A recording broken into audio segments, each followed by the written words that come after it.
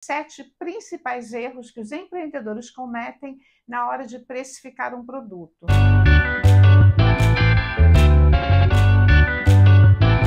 Olá, eu sou a Cláudia e aqui no canal Cozinha da Cláudia eu te ensino a precificar produtos alimentícios ou serviços que envolvam alimentos para que você alcance estabilidade no seu negócio.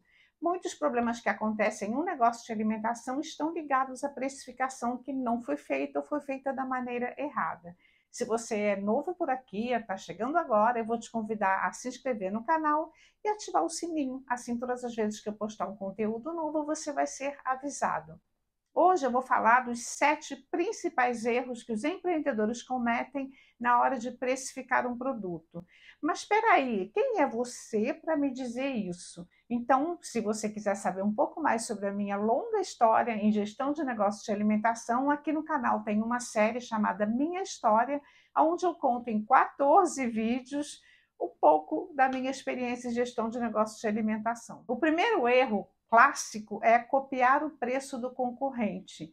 É muito comum o empreendedor que está começando um negócio, não sabe como fazer a precificação, o que, que ele faz? Ele vai pesquisar na região que ele mora, se for um serviço ou um produto é igual, quanto que estão cobrando por isso que eu quero vender.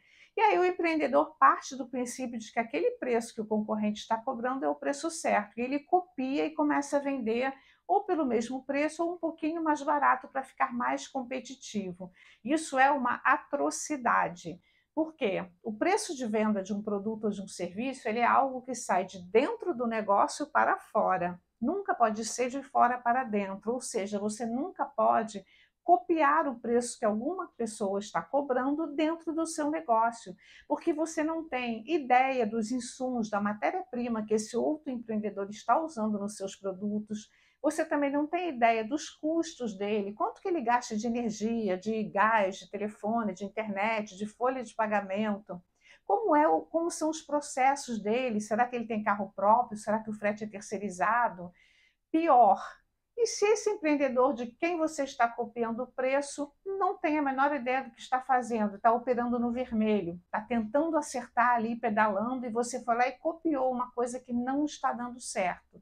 Então, esse é um erro clássico, frequente, e é o primeiro erro que você deve deixar de cometer se você está fazendo isso para agora e vai buscar aprender a precificação do seu produto para poder cobrar da maneira certa. Cobrar da maneira certa é um preço que seja competitivo no mercado e que deixe lucro no seu negócio. Segundo erro muito comum é pegar o custo do produto e multiplicar por 3. Às vezes a pessoa nem faz o custo certinho, ela fica ali mais ou menos, eu gasto tanto para fazer isso daqui, eu vou multiplicar por três e está tudo garantido. Por muito tempo, isso foi uma prática comum no mercado de alimentação. Felizmente, agora as pessoas começam a acordar e estão parando de fazer essa prática de multiplicar o custo por três ou por quatro. Você pode, eventualmente, até acertar. Ah, eu multipliquei ele por 3 eventualmente, porque se o seu produto tem um custo muito baixo, seria um produto que você, para fabricar, gasta pouco, com certeza multiplicar por 3 ou por 4 não vai fazer, não vai levar à precificação correta. Se o seu custo de produção, a matéria-prima, for de um valor mais elevado, eventualmente pode até bater. Mas qual é o grande prejuízo de você multiplicar o custo por 3 ou por 4? É você ficar no escuro. Você não sabe como está sendo composto o seu preço de venda. Quando você tiver que tomar uma decisão de reduzir custos, de mexer na formulação do produto, você não vai ter ideia do que você está fazendo. Então, esse é o segundo erro comum e você também deve parar. Se você calculou o seu preço de venda dessa forma, para tudo, volta lá e calcula da forma correta. Terceira prática, também muito comum, que também é um erro muito grande, é pesquisar na internet quanto se cobra por um produto parecido. Isso é quase a mesma coisa que pesquisar a concorrência, mas é um pouquinho pior. Quando você joga ali num procurador, num buscador da internet, quanto se cobra por um brownie em São Paulo, ele vai trazer fatos reais baseados em pesquisas que foram feitas, né? E o algoritmo vai colecionando aqueles resultados e ele vai te mostrar ali entre tanto e tanto. Primeiro, você não sabe que produto é aquele. Segundo, nem sempre isso está atualizado e você não tem ideia se aquele produto que que o resultado apareceu no Google é parecido com o seu. E ele dá geralmente o resultado por uma porção. Será que essa porção é do mesmo tamanho da que você está vendendo? Quanto custa uma marmita fit no Rio de Janeiro? Vai aparecer ali entre 22 e 30 reais. Qual é o peso dessa marmita? 300 gramas ou 450? Você viu por que não pode pesquisar o preço na internet? Como eu falei no começo do vídeo, a precificação é alguma coisa que nasce de dentro do negócio para fora, não pode ser de fora para dentro. Quarto erro comum também é fazer as coisas de cabeça. O empreendedor vai para a cozinha, especialmente quando o empreendedor tem raízes na cozinha, que é o meu caso até, né? eu gostava de cozinhar e fui empreender com alimentação muitos empreendedores de alimentação começam assim. Então, ele vai para a cozinha e ele sabe que gasta um quilo de farinha de trigo, 500 gramas de manteiga, dois ovos, aí ele faz de cabeça. Aí eu gastei no mercado 18 reais e eu, isso aqui deu para fazer três, logo o custo é seis. Não pode fazer isso porque um dos motivos de sucesso de um negócio é o padrão.